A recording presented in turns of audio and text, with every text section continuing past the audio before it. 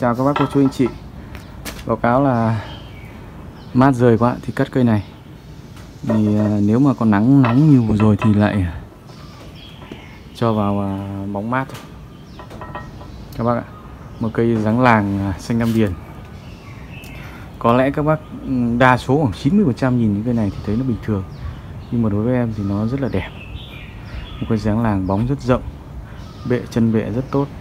Có điều là cây này mà muốn đẳng cấp phải cho lên ờ, một hòn đá thấm thủy cho nó cao lên một chút.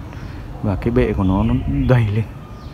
Đấy, lúc đấy thì nó rất là đẹp bóng nó rất là rộng tay tán đầy đủ rồi. Đấy à, thực tế là để mà cho nó đỡ cháy thì mình nên nuôi thêm. Và cái răm của nó cũng chưa được già nhưng mà ngứa tay lắm các bác ơi. Cái phim ờ, phục vụ các bác và cái chính là lâu rồi chưa mua được cây nào. Cây nó đắt quá thì phải vật những cây cũ hôm nay mát rời. Thời tiết báo ít nhất là vài hôm nữa mát rời. Có mưa. Thì à, làm các bạn. Nếu cùng lắm nắng thì mình à, cho vào à, trong nhà. Ok các bác. Làm cái này đã xong rồi các bác nhìn rõ chứ. Hiện tại là đầy phân thế này không nhìn thấy bệ đâu. Đấy đang nuôi dưỡng kể ra mà để sống được thì nó kéo rất là khỏe. Đấy thôi chấp nhận. Vẫn cứ phải trình lại bày lại các bác là đã làm uh, truyền thông youtube thì chấp nhận thôi. Ok, dựng máy này triển các bác nha thực tế mà nói, rất nhiều cây dáng làng qua tay rất đẹp, nhưng mà cây này tôi nghĩ là tôi thích nhất, các bạn. Cái ở cái tương lai nó, tương lai nó sẽ biến đổi rất là khủng khiếp. Các bác chờ xem nhé làm tí rượu về VT phây là lại bật cây các bạn không uống rượu thì chắc cây này còn lâu mới làm rượu chè hại người quá. Không uống được khổ lắm. Biết là người đó là người. Xin phép các bác là cởi trần nhá. Cởi trần nhá, cởi trần một chút.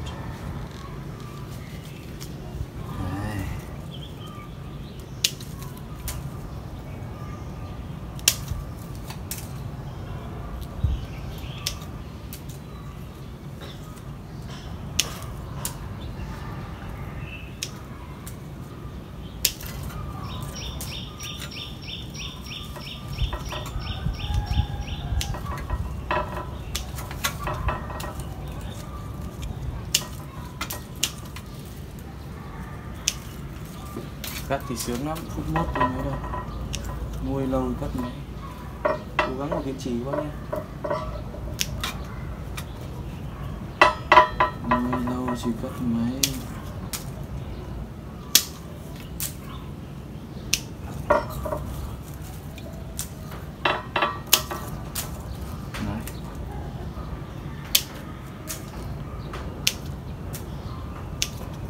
nuôi lâu chỉ cắt mấy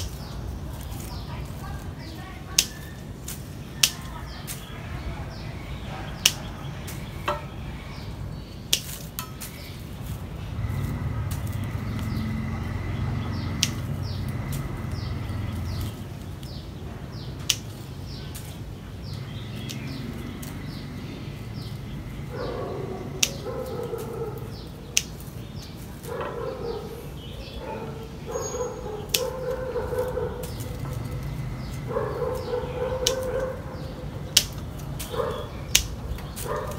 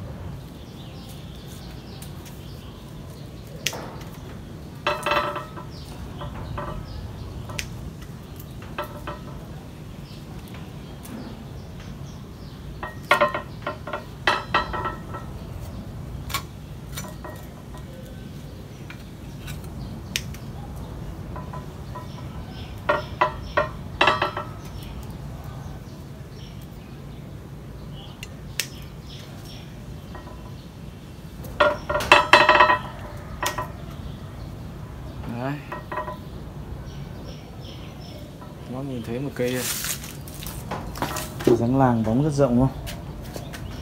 Khi mà nó dày lên các bác nhá, Thì cái bóng làng nó trải như này, Đẹp lắm. Thấp.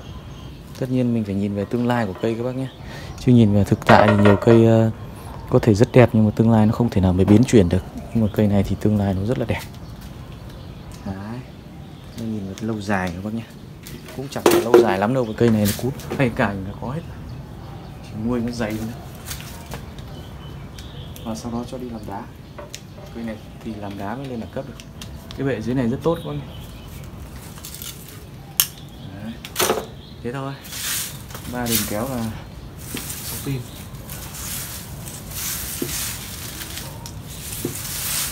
bao nhiêu công nuôi dưỡng được bao nhiêu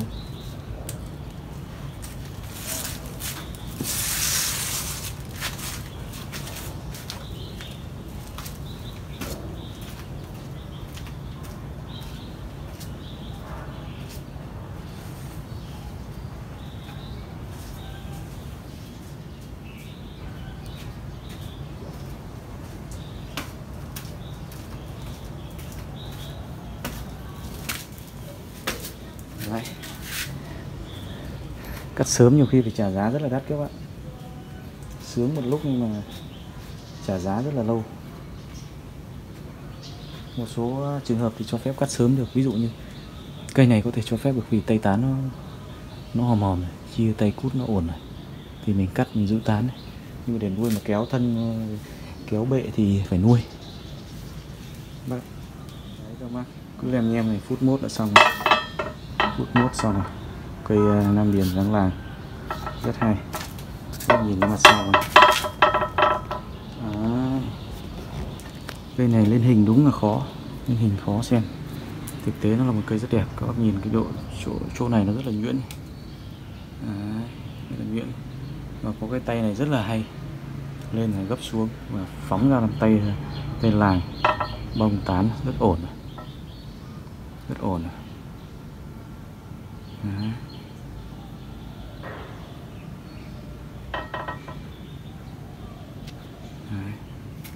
Vệ này đang rất là tốt này. Các nhìn cái rễ này mới cắt đây. Mới vẻ đây nhưng mà đã phi một cái rễ đây. Toàn lọc phân này thốc này. Giá mà để nuôi một thời gian nữa cắt thì bệ nó còn khủng khiếp nữa. Đấy, các bác nhìn bệ nó cuồn cuộn ở dưới này như này này. Sau mình à, vào đá thì nó đầy đặn hơn và nó hoành tráng hơn. Nó cao cái bệ hơn các nhìn ba vai dáng là một hai ba. Rất là rộng rãi đáng làng thì bóng rộng chút thì nó sẽ xung xuê và đẹp hơn Đấy. để các bác à, buổi chiều say xỉn chút các bác nhé. Rồi khi nào cây này sẽ xuất hiện sau này còn dài dài các bác còn được nhìn thấy nhiều. Ok. Cảm ơn các bác đã theo dõi nhé. Chào và hẹn gặp lại.